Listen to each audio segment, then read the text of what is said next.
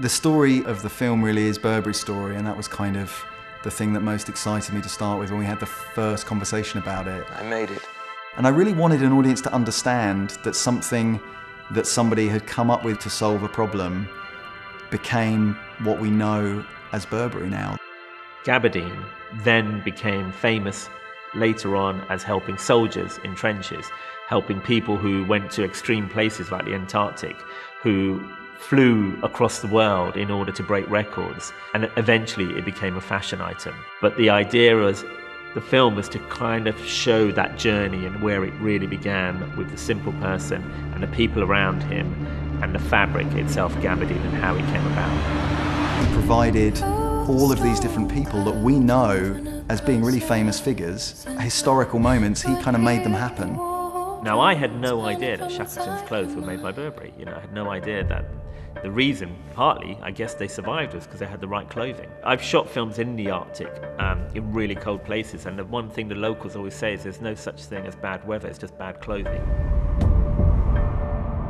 So in terms of characters, we've got Thomas Burberry, played by Domhnall Gleeson, who's a brilliant actor, really great actor, who um, really embodied the character. What worked really well on this is that they got a really good cast in place before. Everybody was committed, so everybody knew we were going to be working with good people. It's been easy, which is kind of the best thing you can say.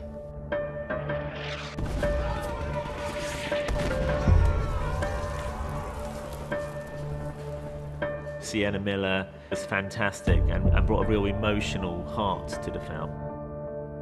Working with Domhnall is amazing. I think he's a phenomenal actor and I've seen, I think, almost everything he's done and have admired him from afar for a long time. So to have this opportunity to actually work together on something that's creative and inspiring is just a real, real gift. Dominic West is brilliant and, and perfectly cast as Shackleton. I actually walked to the South Pole a couple of years ago. It's brought back a lot of memories of that, and, and uh, it's wonderful when you get to play your heroes, and Shackleton is, is a great hero of mine. So again, Burberry created the kind of aviator clothing for Betty and for the co-pilot, and actually they went as far, I think, to they sponsored the plane. They, they actually had the name on the plane at the time in order for her to have the finance to make this flight. The whole thing is so beautiful and so well shot and so lush, and the colours are so wonderful. It, it sort of evokes such a sense of romance and drama and feels you know, like you really want to go and watch the movie.